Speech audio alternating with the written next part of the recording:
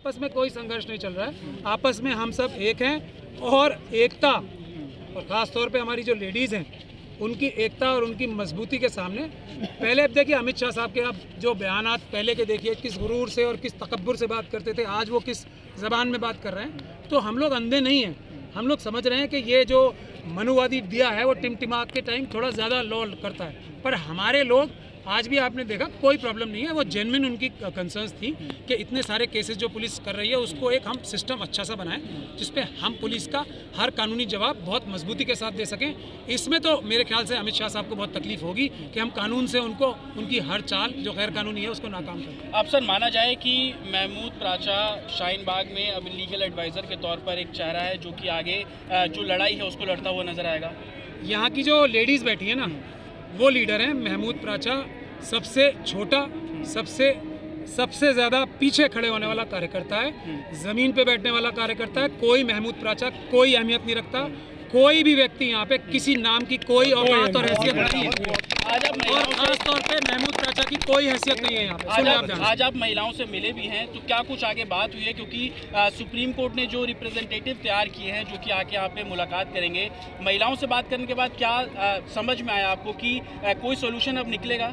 Solution तो एक ही है इस बात का कि संविधान को बचाना है देश को बचाना है और जो ये मनुवादी आरएसएस की सरकार जो संविधान तोड़ने की चेष्टा कर रही है, वो बचाना है रिजर्वेशन बचाना है और नागरिकता बचानी है। तेईस तारीख को हमारा बंद भी है, जो हम लोगों ने और चंद्रशेखर आज़ाद साहब ने कॉल किया है तो ये सरकार बहुत ज़्यादा भयभीत है, हम समझते हैं। पिचासी परसेंट जनता अब साथ हो गई है तो इसलिए ये लोग तरह तरह की अफवाहें फैलाते हैं। पहले अफवाह ये फैलाई कि यहाँ पाँच पाँच सौ रुपये लेके लेडीज़ बैठी हुई हैं। फिर अफवाह ये फैलाई कि यहाँ से कौन कौन फंड कर रहा है। पॉलिटिकल पार्टीज़ को क्रेडिट दिया। मैं खुल के बोल रहा हूँ, किसी पॉलिटिकल पार्टी की कोई हैसियत नहीं कि इतने बड़े लोगों को इकट्ठा कर सके, इतने बड़े इतने बड़े क्राउड को इकट्ठा कर सके। किसी किसी पॉलिटिकल पार्टी की, किसी इंडिविजुअल की कोई औकात नहीं है।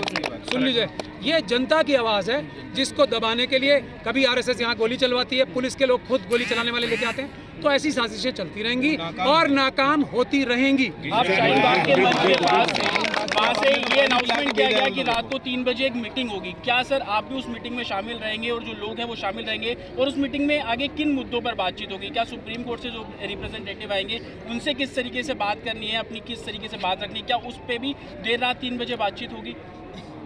देखिए, सबसे पहले तो मैं भी उत्तर प्रदेश जा रहा हूँ। वहाँ हमारी शाहीन बाग की तरफ़ से ही मुझे और चंद्रशेखर आज़ाद साहब की तरफ़ से उत्तर प्रदेश में सबसे बड़ी ज़िम्मेदारी दी है। यहाँ के लोगों ने कि मैं उत्तर प्रदेश में ज़्यादा आ, एक बात तो ये है। दूसरी बात आप अमित शाह साहब से उनकी स्ट्रेटजी पूछते हो जो हमारी चार बजे या तीन बजे की जो स्ट्रेटजी नहीं पूछते?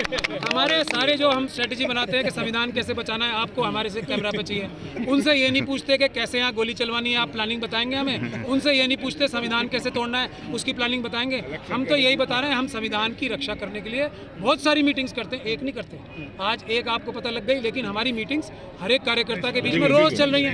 मगर हम संविधान बचाने के लिए महीनों से चल रही है। संविधान बचाने के लिए हम लोग प्लान कर रहे हैं वो संविधान तोड़ने के लिए ये फ़र्क आखिरी सवाल सर। ये फिर से मैं आपसे पूछ रहा हूँ कि क्या महबूब प्राचा अब शाहीन बाग के लीगल एडवाइज़र के तौर पर सामने आते हुए नज़र आ रहे हैं? महमूद प्राचा की कोई औकात नहीं है। महमूद प्राचा की कोई औकात नहीं है। शाहीन बाग की महिलाओं के सामने और शाहीन बाग में जो लोग भाई प्रोटेस्ट कर रहे हैं, उनके सामने पूरे मुल्क में जितने लोग प्रोटेस्ट कर रहे हैं, कोई महमूद प्राचा कोई अहमियत नहीं रखता।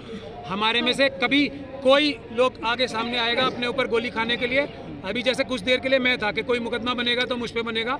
ये हमारी स्ट्रेटजी का हिस्सा है। अभी और लोग भी सामने आएँगे जो कहेंगे, किसी को मुकदमा बनाना है तो मेरे ऊपर बनवाओ। किसी को गोली चलानी है तो मेरे ऊपर मेरे ऊपर चलाओ। किसी को टैंक चलाना है आके तो मेरे ऊपर चलाओ। ये हम अपनी स्ट्रेटजी है। हम अमित शाह साहब को प्रेस के माध्यम से नहीं बताना चाहते। महमूद राजा ये